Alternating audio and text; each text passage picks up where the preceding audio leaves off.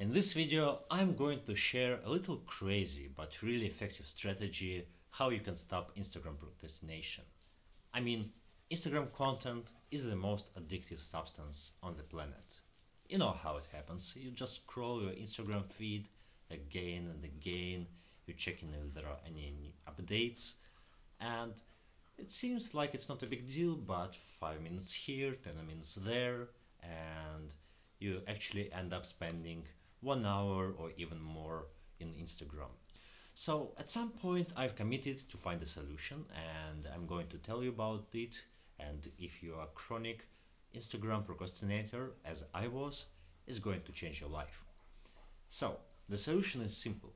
All you have to do is just to sign up for some some really awful accounts with cockroaches, with spiders, with uh, pictures from surgery surgery rooms, and um, I mean there are a lot of surprisingly a lot of Instagram accounts like this, and if you're going to, you know, just to subscribe to these accounts and uh, spend some time there uh, by randomly finding these pictures in your in your Instagram feed, then at some point you will not feel like going to Instagram again.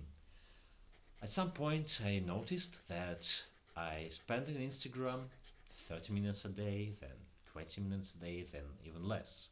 And even though I still was subscribed to accounts with uh, really decent pictures from travels, uh, with uh, you know different Instagram models and um, stuff like this, Instagram accounts with funny dogs. There is actually an Instagram account with eight corgi dogs, so try to find it. And uh, even uh, in spite of this, I still was able to reduce my screen time in Instagram to five minutes per day, and uh, it was a great change for me because I was stealing all this time from my productive work. So just to make your life easier, I've put some nice links to the description of this video so you can find uh, the specific accounts I have mentioned. And you know just try to uh, teach your brain that Instagram is not such a great place as it seems to be because UX designers of Instagram they made everything possible just to keep you addicted just to keep you coming back to Instagram feed and check all these uh, beautiful pictures and check uh, likes and uh, comments to your pictures in Instagram.